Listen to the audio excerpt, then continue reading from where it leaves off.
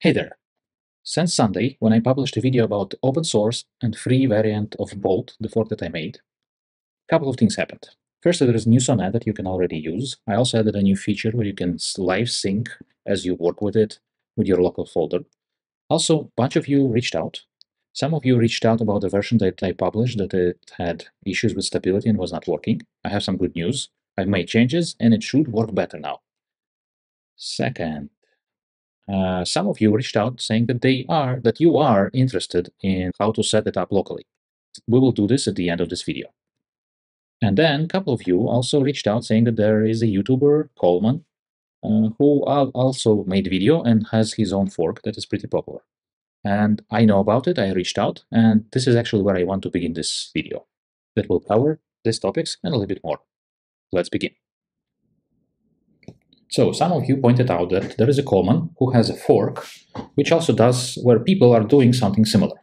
And I did not know about him and his video and his fork before I did the live stream last week, but I already knew about him by the time I was recording a video on Sunday. And he and you, it's hard to not know about him. His fork has by now something like 700 stars, and I am in in it also i'm working not exactly i haven't done any pull requests but i'm keeping track of what people of what kind of pull requests people are doing. And i am even participating in some of the conversations. You can find me here leaving comments and discussing some of the possible changes. Now i don't know where his fork is going.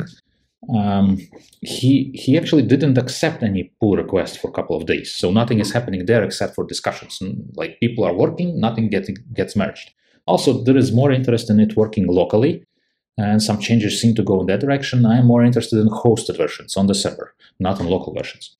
So for now, I don't know. I, I do want to merge our efforts. I even reached out to him. Uh, you can see here a thread, and then we connected on LinkedIn, but we didn't yet communicate. He's busy, I'm busy, we didn't really communicate. So I don't know yet where it's going. There is also official repo from StackBlitz, right? And there is um, office hours today a little bit later. And I plan to participate and I plan to ask them questions about their uh, open source strategy plans going forward, because in their official repo, there are also some pull requests, some of which were not merged for two weeks. So I don't know. Problem is, we do not really have a fork on which work is effectively happening yet. I hope we will get there soon. We'll see how the office hours will go. We'll see what Cole has to say about his fork. We will see. Anyways, there are office hours. They are today. And for me, it's uh, I actually don't see. Oh, it starts in a couple of hours for me. So yeah, we'll see. By the next time I will be doing videos on Bolt, I should have more information. Subscribe if you want to learn more by then. Okay, now let's speak about features. Uh, firstly, stability. Now, there are two problems with stability, and there are additional bugs, but as far as server stability goes and responsiveness, there were two problems, and I think I fixed one. If you've seen uh, site not being reachable, should be reachable now. And then there is a second problem, where you will get uh, errors on responses. This one I'm still investigating. Let's see. Create for me a hello world CSS HTML page with fancy animations. And yes, we did got it. You can see here this error. So I'm still investigating. It seems that OpenRouter doesn't return the real reason for the error, but I suspect it has to do with rate limits. Uh, even though it's free, there are limits, rate limits on these models, and we are hitting them. We can actually find it, so we can go to OpenRouter rate limits on free models. So we see that there are 20 requests per minute and 200 requests per day. That's actually not a lot. But still, you can go and here get your own key and this way add it here and this way have your own rate limits on free models and still use for free. And you so do that if you see this problem. Now next topic. Features. Uh, there is like a lot of news in AI world. Uh, one new thing that came out is that Anthropic announced new model their previous Sonnet 3.5 version was already one of the best code editing tools. I think the only true rival is O1, mm-hmm. which maybe is better. Now they released a new one, and they also released Claude 3.5 Haiku. And they are better, maybe not by a lot. I don't think they really beat O1, but in some tests they do. There was, I think, Aider leaderboard where it seems like new Claude is beating O1 preview in tests from Aider. Doesn't mean it's better, but at least in tests from Aider and what they are testing for, it's better. So there is a new model, and it is already available uh, in, uh, let's create a key, test, sonnet, new, and it's already available. We can create a key, we can copy it, I will delete it later, we can paste it here. Now we can use paid models. We can go to Anthropic, it should be at the top, and there should be Sonnet, new one, and I'm actually interested in Haiku. Yeah, there is no, yeah, right, Haiku was not yet released, it was announced that it's releasing soon, it was not released yet. But there is Sonnet 6.2 and there is self-moderated one. Let's try to give this one a try quickly and see if this is gonna work. So create for me fancy animated landing page with a snake game. And you can see that it's working. So it was not working without a key, it's working with a key, so it's probably rate limits. As many of you are trying, I'm probably hitting them. I will see what I can do and if I can do anything, but let's see. So it's creating, oh, it's creating a React application. So anyways, about new features, Sonnet is already available through OpenAI, uh, not OpenAI, through OpenRouter, and you can already use it this way. Uh, apparently it's better, we'll see. Now, one thing that I can also say is that I do plan at some point add more providers, like OpenAI, for now, it's OpenRouter because it has free models and it has almost all of the models. But I do plan add more. There are there are providers and other forks and so on. I just need to make it work a little bit better. Okay, so it's generated, and we can play a snake game, which, huh, what? Something's wrong. Like game over is always game over. okay, anyways, uh, it's so there is another feature that I wanted to show you, and this is it's live sync. So you click on it, it only works in Chrome, Edge, and Operating. It doesn't work in Firefox and Safari. It's a new feature in browsers where you can open a folder and not allow browser to indefinitely, not indefinitely, but in current session, work with that folder. You refresh the page, you need to select the folder again. Let's select the folder. Let's create a new folder and say that it's a landing page. Folder is created, we select it. We need to allow things and it's syncing and it's synced. We can try to go to documents landing page and here it is. We have files. Let's go to code here. Let me do this. So we can see that we have main.js, style CSS, index.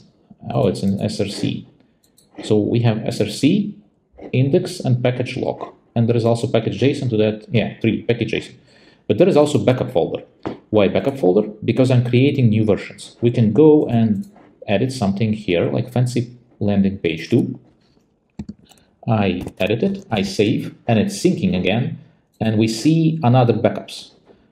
Here we see the latest version, and here we have backups. So if something goes wrong and you want to go back, your local folder will contain other versions as well. So this is a feature that I added. If I will refresh, I will need to add folder again. Sadly, that's how browsers work with such folders. I need to select it again for it to sync. That's it. That's about new features. Maybe one last thing about features. The feature I just shared with you, it doesn't sync back, so you cannot load yet. This is still in progress. I will. I, I plan to add it next. I also think that the backups part is not the best way to do it. Um, I think eventually I want to get to supporting Git. So instead of having a bunch of folders with backups, one would have actually a working Git still also kind of ongoing. Maybe me, maybe someone else will get to adding good support of it to Uh, to Bolt. So I took a pause from recording and needed to eat, spend time with kids, and also the stream from StackBlitz started, so I stopped recording. Listen to what they're doing. I think I would summarize that they are swamped. They are working hard on improving many things in commercial part, and they do not have yet time for open source. As you can see below, I did ask on the on the stream, and they answered. So they are looking at what people are doing in open source. They are excited about what people are doing in the open source part. They are not accepting pull requests yet much, and they are not backporting features from Bolt yet, but they plan to, and that's why they are not supporting pull requests that much yet. Because if uh, they will allow open source community to run very far ahead, it will get it harder. It will get harder for them to backport features from commercial Bolt back into the open source one. So for now, open source will go slow in the official repo. In that sense, I still argue for having community version where we are going forward, but we will have hard time cross-porting features between the both versions. We'll see. Okay, last part of the video, installing it locally. So here is the repo of StackBlitz, their official repo. It works with it, the process I will show you, and it works almost with any fork. I will show it on, oops, wrong click. I will show it on my fork. Let's do it here, it's second fork. So the simplest way, first you need to get the code. The simplest way that GitHub has is just to download the zip, and that is what I will use. I will be showing it on Mac, but it's approximately the same on Windows. I will leave just some comments on how to exactly do that in Windows. So here I downloaded it, and here I have, and here I have a folder. Now, the next thing you will need to do is to open a terminal in that folder. So maybe one thing though, before we open the terminal that I do want to show to you is contents of this file. So package.json. Uh, StackBlitz Bolt is a full-stack JavaScript application. JavaScript is usually these days done with Node. There is also Deno and Bun and some other options, but mostly Node. And Node is like how it's built, how package and dependencies are uh, managed is uh, done with this file, package.json. Let's open it with some just text editor. Uh, and inside, you will see all kinds of dependencies. This is third-party code that Bolt uses, like CodeMirror, uh, code editor. It requires Node.js 1818 or higher. And here is the interesting part, scripts. This is the predefined scripts that allow you to deploy, build, develop. In my version, there is also dev inspect that allows to develop and inspect the node part, the server part. There are also tests and there is lint that checks if code standards are enforced in the code. There is type checker and preview. The preview basically previews the project. So to run this locally, what we'll need to do is that we'll need to install the node and run the preview. And that's it. Let's try to do that. So that's package. Okay, so I already have node. You just go here and download the latest version uh, that is stable, which is version 20. And I already have it, so I will not be doing that. But you can find videos in the internet. I will probably add one in description if you don't know how to install Node. Okay, let's go back to the folder. So next thing you will need to do is to open a terminal. Um, well, you can find again how to open a terminal in the folder. I will show you it for Mac. So I have a line here, and you will not see it. You need to go to View in Finder and press at this, at Show Path Bar. Then you will see the path bar. You right click on this part, on the last part of folder, and then choose Open Terminal, which will open the terminal. Let me check which version I have here. I have old one, so let's use, uh, yeah, I have a, oops, I have so-called app called NVM that allows me to have multiple versions of Node. So I chose 2016, one of the latest ones, and I am in the folder that I downloaded with Bolt. So now I need to run this thing that will come, like you will have it in terminal after you install Node. It's called npm or Node Package Manager, and you will need to do npm install.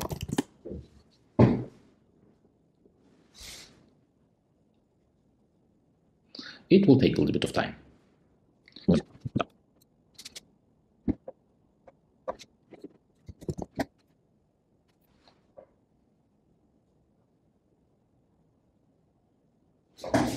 Okay, we're done.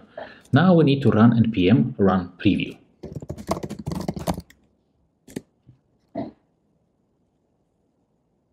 Mm. Oh, it uses PNP in this one. Okay, whatever. npm run build then.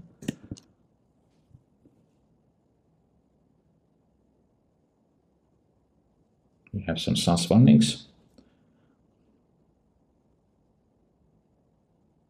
And now that when it's built, we need to run npm run uh, start.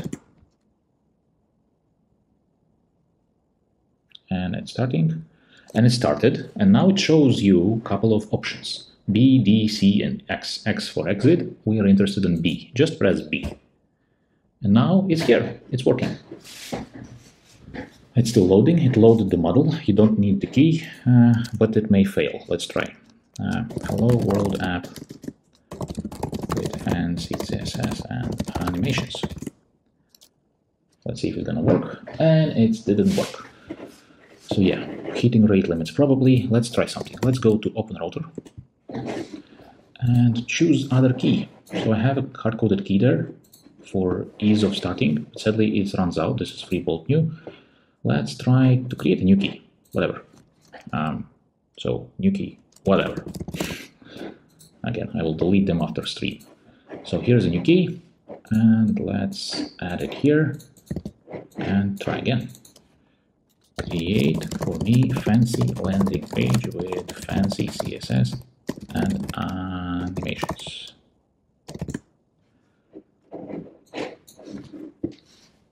So another key, it's probably going to work. Yeah, it seems like it's working. And uh, Uh-huh. yeah, so another key, it's working. So create your own key. If this doesn't work, it's not super hard to do. And here we have already a working preview. So that's how you run it locally, pretty easy. You just need node and run a couple of commands in terminal. And then it works in your browser. So this is all I have for you today. Just to recap, there is a new model. You can already use it with OpenRouter. I improved site stability, but I have some problems with rate limits probably. I've added ability to live sync to a folder in one direction for now. You cannot upload, but you can constantly download with backups to a folder while you work, so you don't lose your work. Uh, I showed you how to do a local setup. And I also reviewed a little bit of uh, where the open source situation with Bolt is between StackBlitz and the community. If you found this useful, be a good guest of this joint. Leave a like, leave comments, ask for other questions. I will be making more videos and answering your questions in them. Subscribe to see those videos. And if I really help you, be generous. Leave a super thanks tip. Thank you and see you next time.